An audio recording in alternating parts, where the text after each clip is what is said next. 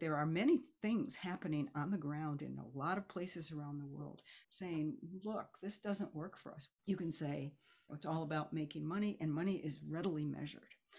The problem for a new narrative, a new economics, is that you're not going to get to such simplistic measures.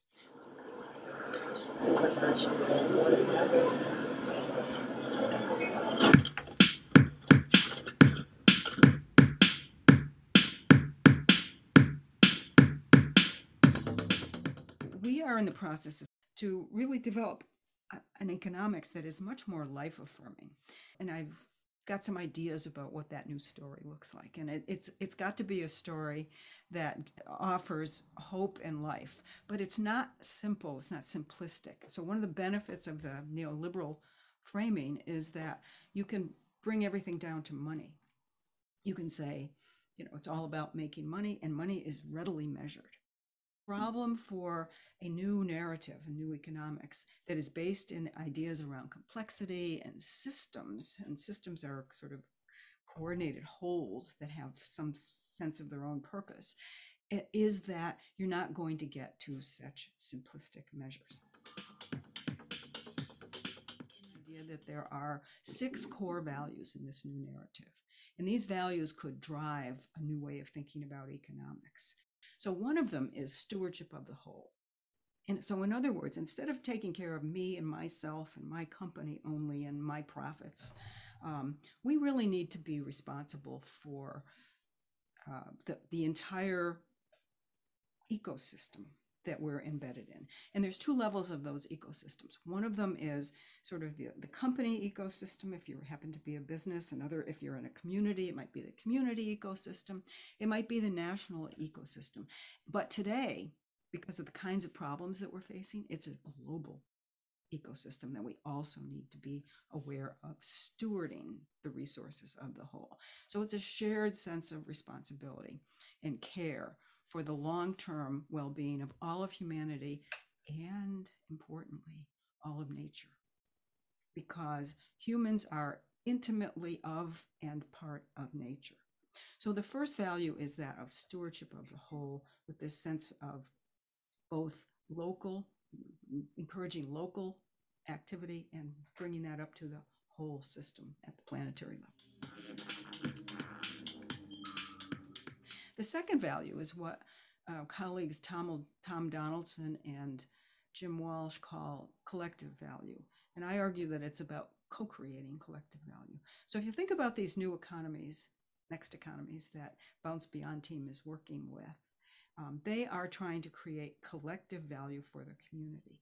And that doesn't mean just monetary value. It's bringing the idea of wealth back to its original meaning, which is prosperity and well being for all. It means um, that we optimize the well being of all. And again, where all includes all of nature, not just humans. So it can't just be totally human centric. You have to bring in nature.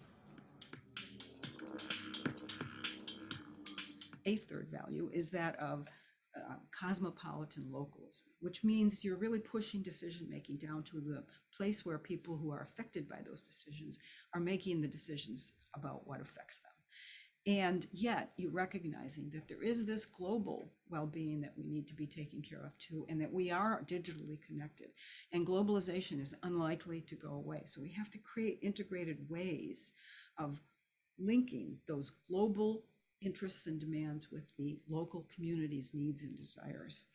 Um, and that includes local communities working in harmony, greater in greater harmony with nature um, around these issues.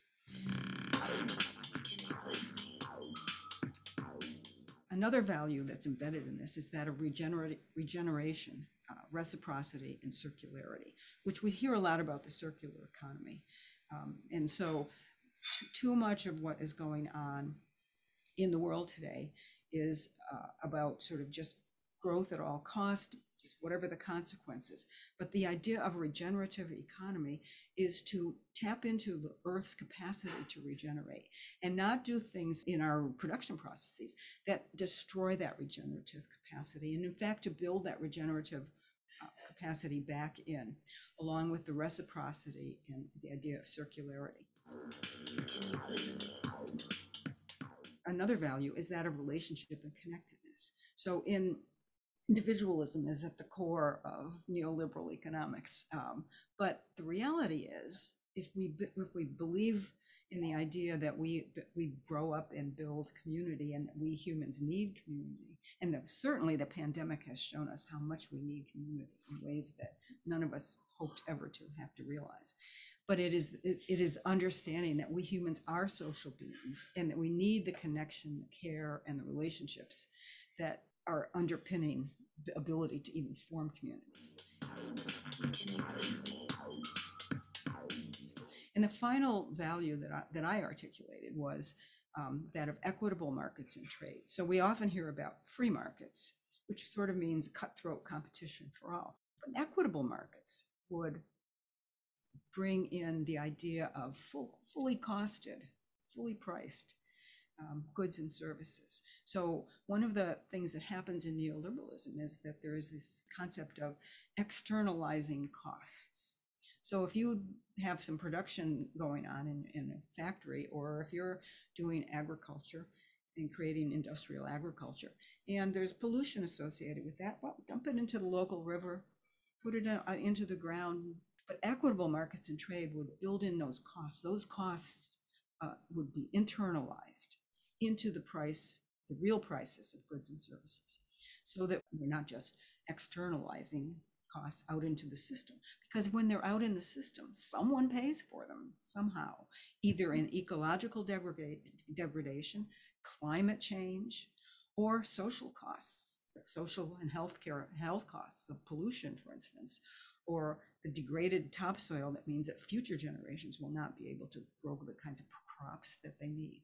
So that's that's a, a life affirming set of values. But I think they're understandable. And I think people are you can you can feel people gravitating towards these ideas. And that's what that's the ethos that Bounce Beyond wanted to tap into. And it's idea of creating a new economic narrative that will guide us into a future where all can thrive.